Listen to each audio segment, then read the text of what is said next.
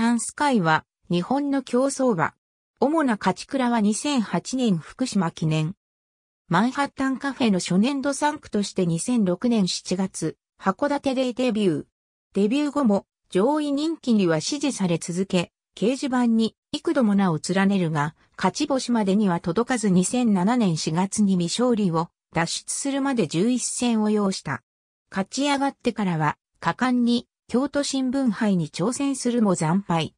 その後条件戦を2連勝して、秋には神戸新聞杯から菊花賞へのローテーションが取られたが力及ばず、着外に終わる。菊花賞後は自己条件である準オープンを中心に出走。未勝利時代同様にき、拾いの内容がしばらく続いたが、翌2008年4月にオープン入りとなった。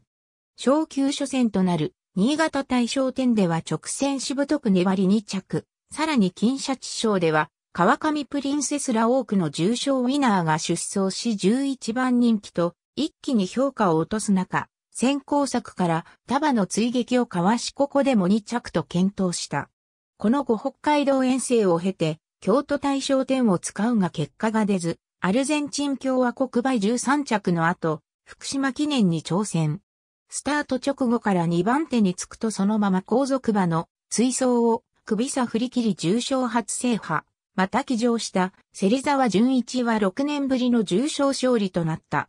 2009年は万葉ステークスから始動し、2着と構想する。その後京都記念では6着、中京記念では14着、日経賞では8着と着外続きであった。続く4月12日の福島民報杯では一番人気に押されたが、勝ったホッコーパドゥシャに4馬身差つけられたものの2着を確保した。その後メトロポリタンステークス、新潟大賞典、金シャチ賞と参戦するが、いずれも発着に敗れた。しかし、7月12日の巴賞では2.3番手追走から最後の直線で逃げるドリームサンデーとの競り合いを制し、勝利を収めた。続く7月26日の函館記念では3番手追走も直線で失速し、6着に敗れた。続く8月23日の札幌記念では10番人気と評価を落としていたが、2番手追走から粘って4着となった。続く9月6日の札幌日経オープンでは、道中3番手でレースを進めるも伸びあぐねて6着に終わった。続く9月27日のオールカマーでは5着だった。その後、連覇がかかった福島記念に出走。先行集団でレースを進めたが失速し13着という結果に終わった。続く12月12日の中日新聞杯でも12着と大敗した。2010年は前年同様万葉ステークスから指導、道中3番手でレースを進めたが直線で失速し10着と大敗した。続く日経新春杯では6着、小倉大賞典では10着、中京記念では12着、日経賞では13着、大阪、ハンブルクカップでは7着と惨敗が続いた。6月19日の函館競馬場グランドオープン記念では2番手追走から直線で早めに抜け出すと後位から伸びてきた北海艦ティを販売審査を抑えて勝利し、惨敗続きに終止符を打った。続く7月25日の函館記念では、先段追走も直線で伸びあぐねて人気通りの6着に敗れた。8月7日の南北海道ステークスでは、後位追走も失速し15着と、どの負けを喫した。8月22日の札幌記念でも11着と大敗した。2011年はメトロポリタンステークスから指導、先手を取るも直線で失速し9着。その後新潟大賞典に出走予定だったが、戦痛のために出走取り消しとなった。続く金シャチ賞は、後位の3.4番手に控えたが直線で伸びあぐねて7着。